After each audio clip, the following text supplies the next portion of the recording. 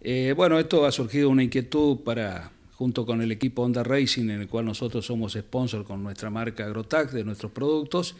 Ustedes saben que este equipo es propiedad de Víctor Rosso y Leo Monti, que son dos personas nacidas y criadas aquí en Marco Juárez, que son muy conocidas. Eh, bueno, con el apoyo de ellos está a disposición el equipo, de manera que la intención es eh, traer los autos, o sea, esa es la realidad,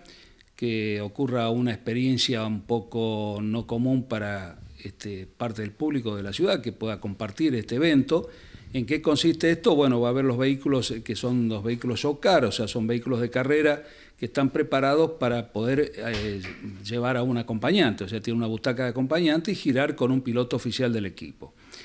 Esto cuando le presentamos la inquietud a la Intendencia, bueno, el señor Intendente Avalle, que muy cordialmente o entusiasta, digamos, de la cuestión, nos ofreció que esto lo compartiéramos con el aniversario 19 de octubre, el aniversario de la ciudad, y bueno, esto ha caído muy bien. Aquí internamente en la, empresa hemos resuelto de alguna manera eh, determinar una, una de las instituciones, porque no resulta fácil también aquí, ¿no es cierto?, eh, poder colaborar con esto. Es decir, la finalidad es que colaboremos todos lo de la ciudad de alguna manera para esta institución que nosotros elegimos que fuese CAL, como estaba diciendo usted recién. Eh, la intención, vuelvo a repetir, es que nosotros hacemos este, eh, este aporte, esta inquietud, bueno, con el objetivo de que mm, nos ayude la ciudad o la ciudadanía y, bueno, y colabore con lo que CAL determine para que podamos este, generar esta experiencia de que alguien pueda subir a un vehículo y girar.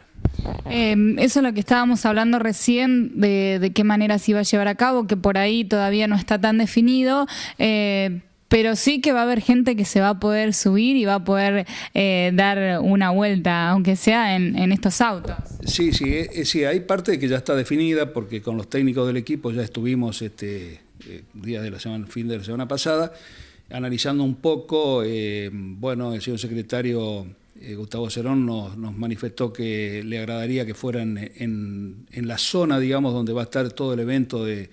los escultores trabajando durante 10 días, eso va a ser en el predio sobre la calle Larrizábal, ¿no es cierto? O sea, la parte del anfiteatro. O sea, que lo nuestro, digamos, esta, esto también va a estar dentro de esa zona, sobre la calle Larrizábal se va a hacer o digamos, trazar un, un medio de un circuito como para que estos vehículos puedan girar este, en esa región. Y lógicamente estando todos los pilotos, este, bueno, por ahí eh, que a la gente tanto le gusta compartir algún momento con ellos. Y me preguntaba, indudablemente va a haber una cantidad de público que pueda subir, eso lo va a determinar un poco ese CAL, de acuerdo al tiempo y la cantidad en que vamos a manejar y cómo la gente va a poder colaborar para poder ganarse el, el puesto, digamos, ¿no? de piloto o de copiloto.